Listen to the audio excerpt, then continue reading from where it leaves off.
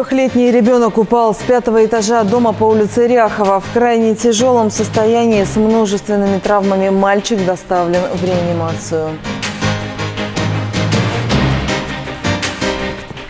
В связи с начавшимся капитальным ремонтом сетей 25 жилых домов на месяц отключили от горячей воды. Еще 13 домов останутся без воды до 10 сентября. А жилой массив Акшат-2 никак не может добиться подключения к холодному водоснабжению. Люди по старинке ходят к колонке и ждут приезда водовоза.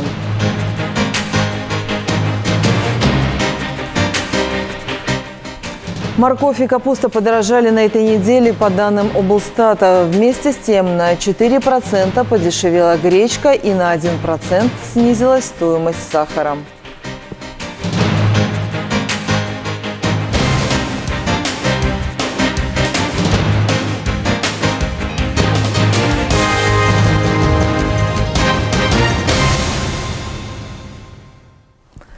Здравствуйте, вы смотрите программу «Факт». В студии работает Ирина Черней. Трехлетний мальчик получил множество тяжелых травм и чудом остался жив после падения из окна пятого этажа. Несчастный случай произошел накануне в доме по улице Ряхова. Врачи областной детской больницы делают все возможное, чтобы помочь ребенку.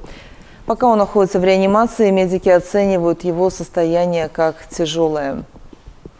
Диагноз закрыта черепно-мозговая травма, сотрясение головного мозга, ушиб обеих легких, закрытый э, перелом третьего, четвертого ребра, закрытый перелом четвертого, пятого позвон, позвоночника, грудного отдела позвоночника,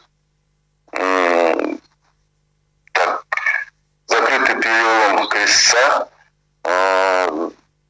Состояние ребенка на данный момент остается крайне тяжелой и проводится интенсивная терапия.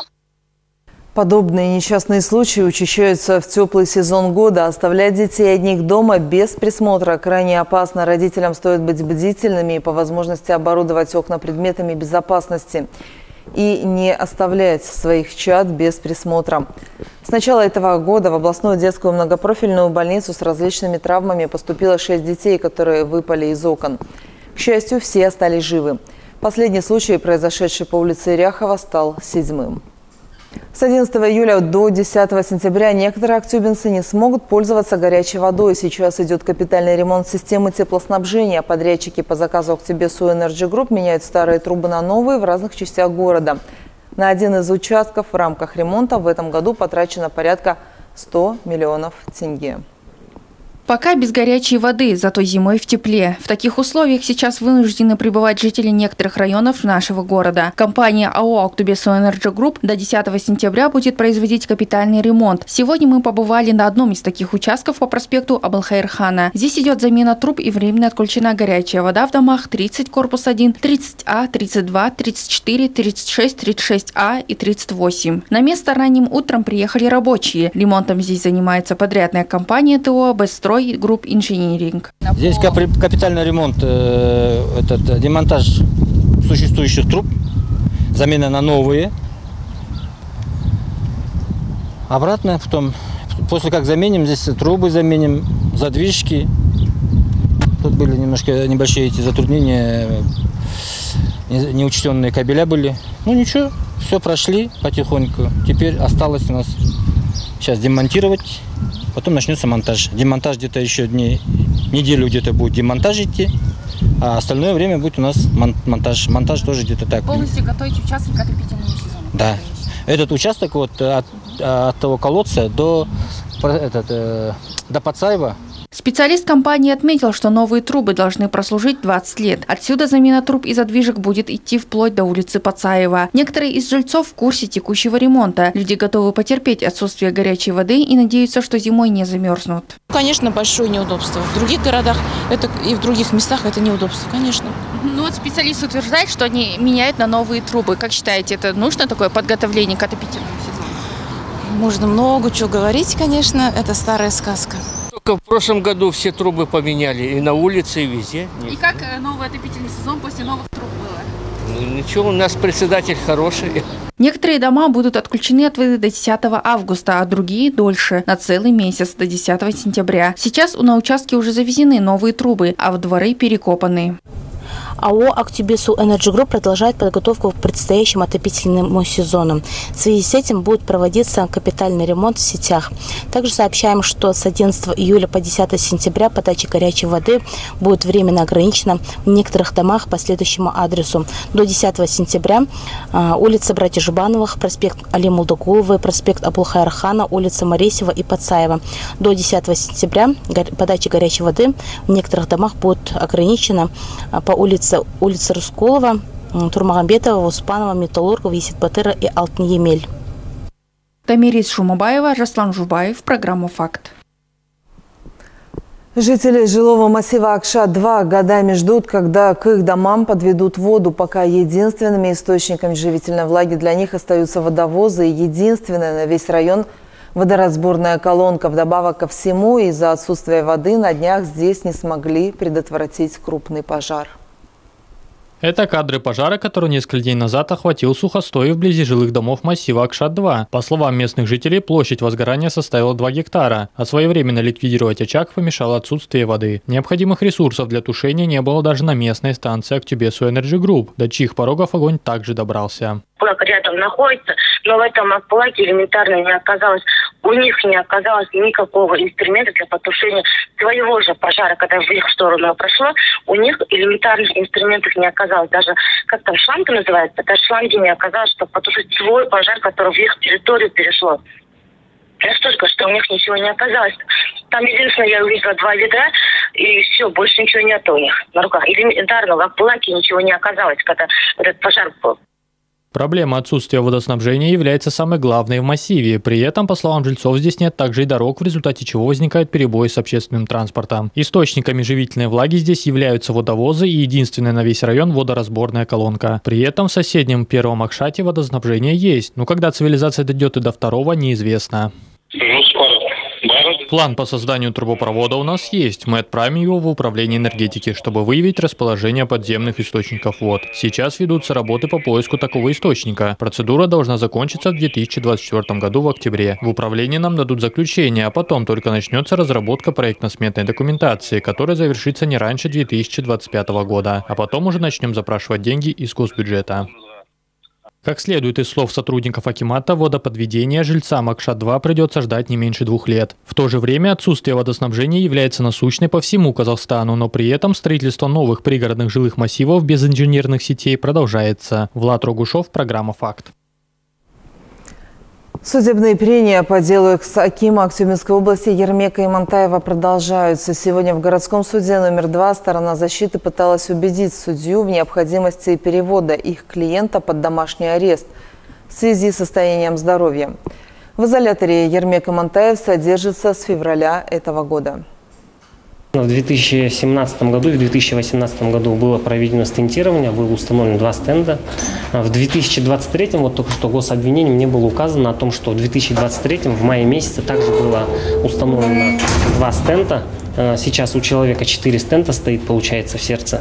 Э, в СИЗО э, мы, мы ходим через день, там, на улице 42-43 градуса жары, там как в бане, невыносимо. У человека каждый день фиксируют повышенное давление с ишемической болезнью сердца. Но ну, это невыносимые условия. У него есть адрес прописки здесь, в городе Ахтубе. Обеспечен защитниками, от следствия и суда скрываться не собирается показания дает, от следственных действий не отказывается. Э, я думаю, есть все основания для перевода на домашний арест. Напоминаем, Ермек Имантаев обвиняется в том, что, являясь в бытность руководителем акционерного общества СПК «Актюбе», три года назад злоупотребил должностными полномочиями. Ему грозит до пяти лет лишения свободы. Судья назначил вынесение вердикта по факту перевода подсудимого под домашний арест на завтра. Однако адвокаты, помимо изменения текущей меры пресечения, пытаются добиться от прокуроров пересмотра дела ввиду того, что, по их мнению, были опрошены не все свидетели. Морковь в нашем городе продолжает дорожать. Новые статистические данные утверждают, что за последнюю неделю ее стоимость повысилась на 2,4%. Вместе с морковью в этот раз почти на 6% подорожала и капуста. Несмотря на летний сезон, когда продуктовые прилавки радуют обилием овощей и фруктов, цены на некоторые из них все же растут. Люди ждут местный урожай и отмечают, что привозные овощи дорожают. К примеру, за эти 7 дней значительно изменились цены на капусту и морковь. Всегда прирост цен идет. Идет прирост. А сезонные овощи, фрукты как? И сейчас я не все покупаю. Что есть, то и беру. Ну, в основном, что берете сейчас летом? Рацион меняете? Хлеб взял, ромашки взял. А овощей больше, да, берете, наверное? Пока еще не берем, когда настоящий появится. Местные, да?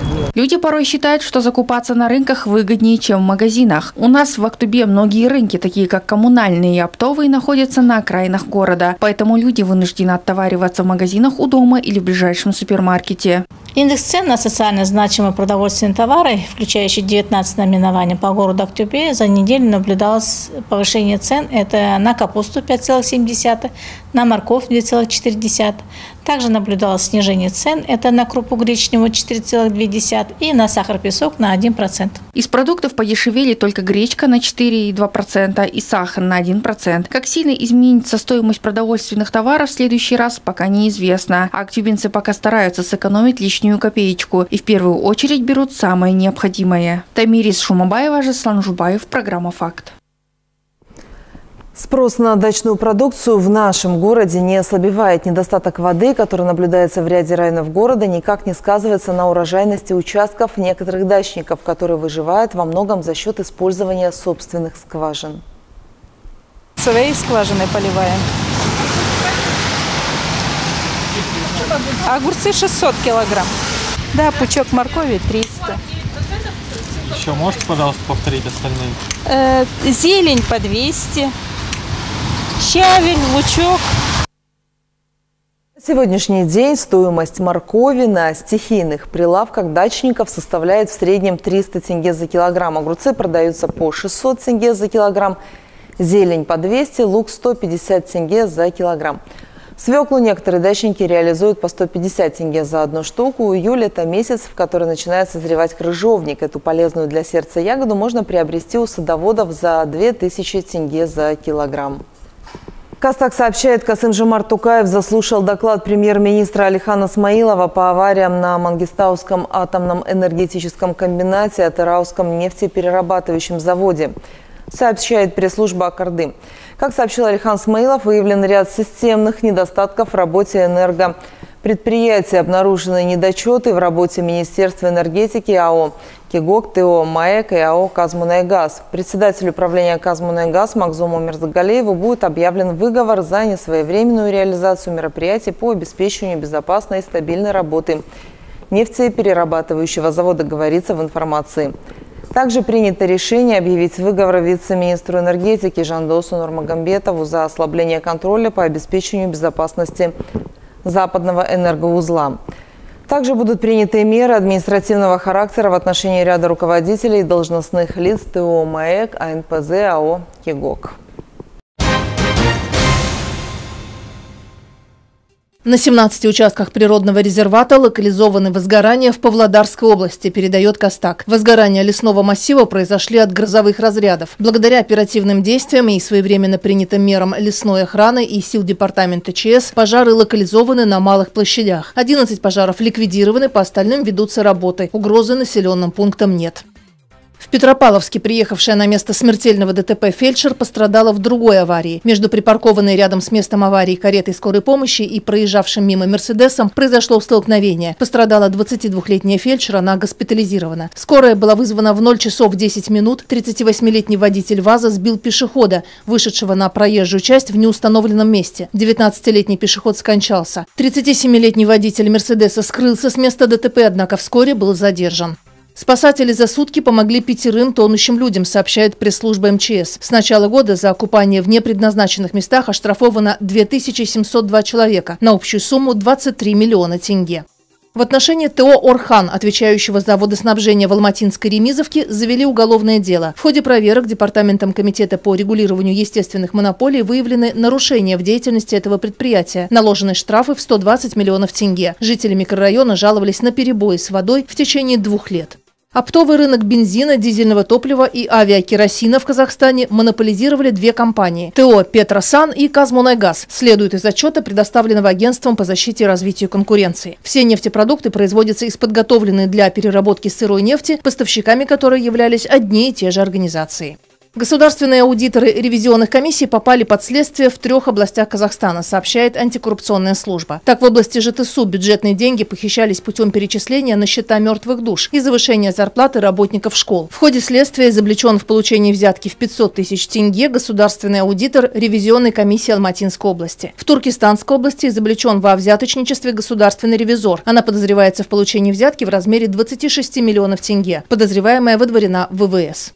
Подозреваемого в сбытии наркотиков экстрадировали в Казахстан из Германии. Преступление было совершено три года назад. Подозреваемому грозит от 10 до 15 лет лишения свободы.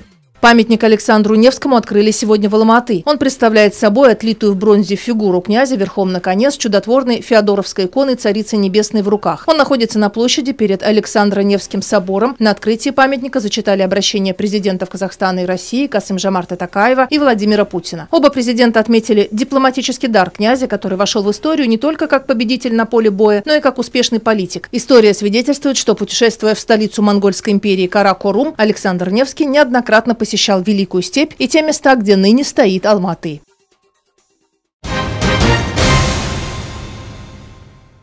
После рекламы смотрите следующие сюжеты. 240 миллионов тенге такой ущерб причинили активистам интернет-мошенники. За первое полугодие полиция вместе с банкирами ищет пути решения проблемы.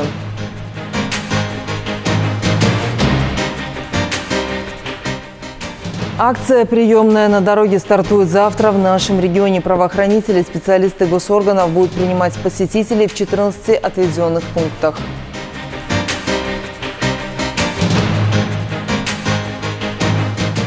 Экстремальная жара на протяжении нескольких дней, а теперь резкое похолодание и обильные осадки. Как скажутся капризы природы на урожае зерновых в регионе.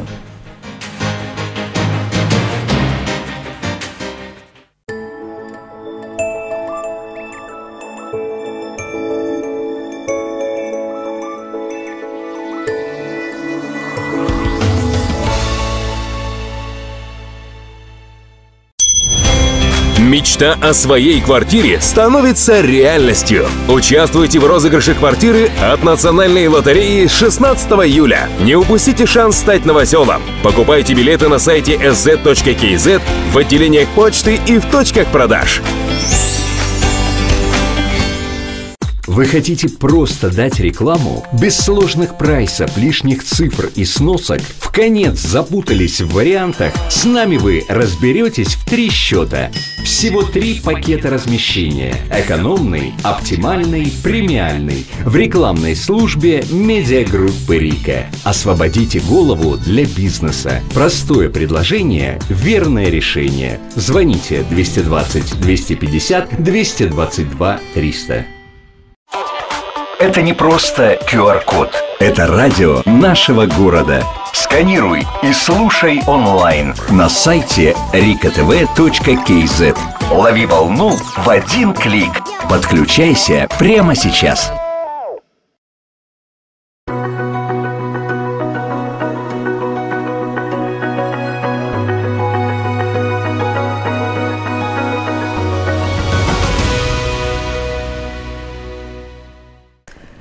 240 миллионов тенге такой ущерб причинили актюбинцам интернет-мошенники только за 6 месяцев текущего года.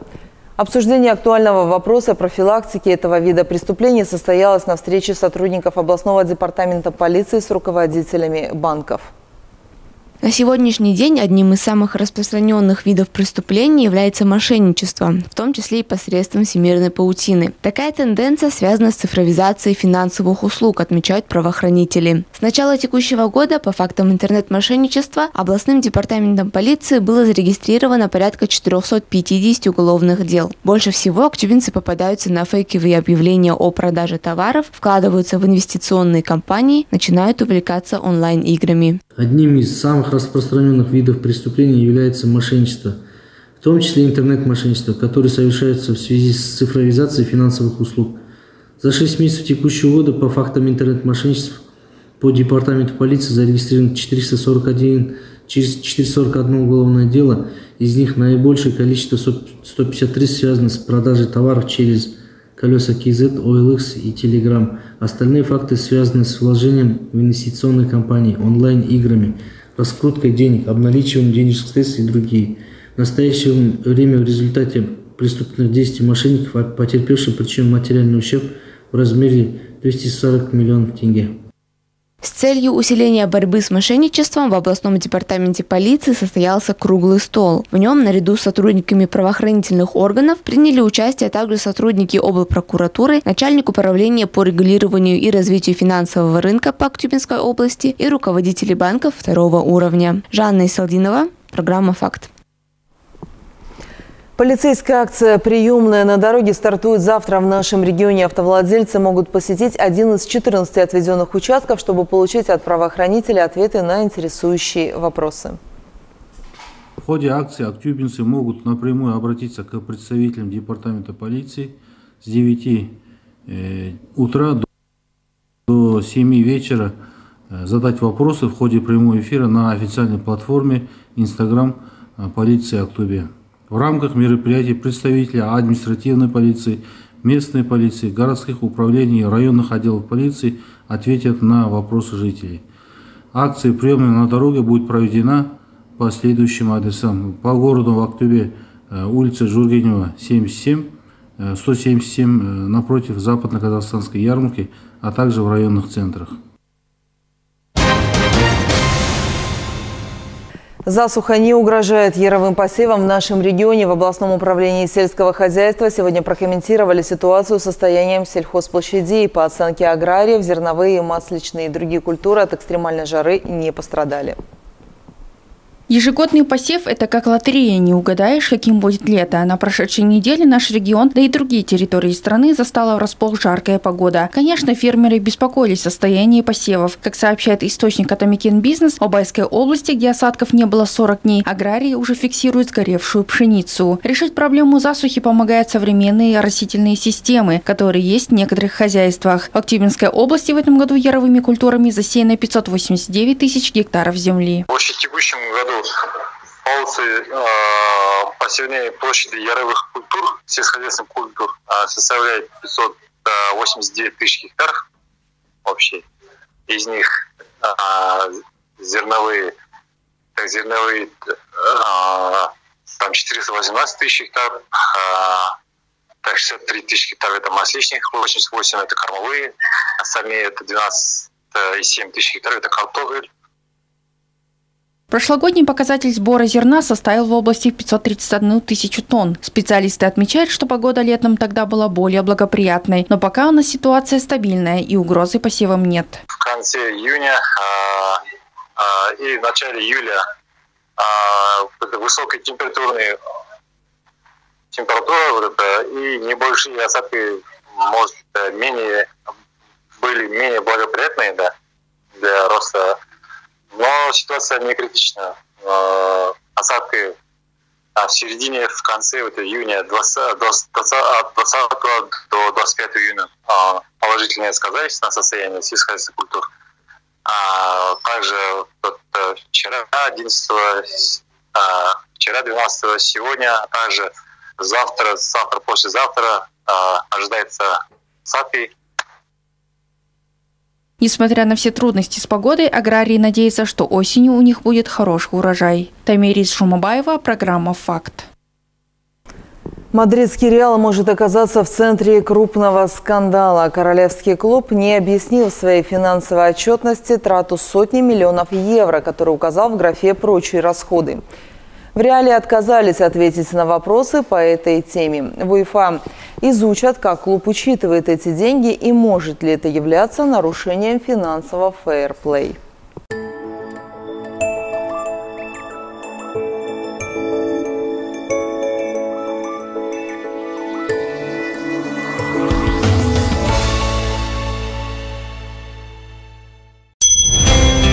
Мечта о своей квартире становится реальностью. Участвуйте в розыгрыше квартиры от Национальной лотереи 16 июля. Не упустите шанс стать новоселом. Покупайте билеты на сайте sz.kz, в отделениях почты и в точках продаж. Расширьте возможности вашей рекламы. Новая услуга – реклама с QR-кодом. Это возможность перехода в один клик на ваш сайт или страничку в Instagram при просмотре ролика на Рика ТВ или баннера в газете Эврика. Все, что нужно, навести смартфон. Смотри, сканируй, заходи. Рекламная служба медиагруппы Рика. Звоните 220 250 222 300. Читай газету в телефоне ежедневно и бесплатно. Эврика всегда с тобою. Подпишись в Телеграм и Инстаграм.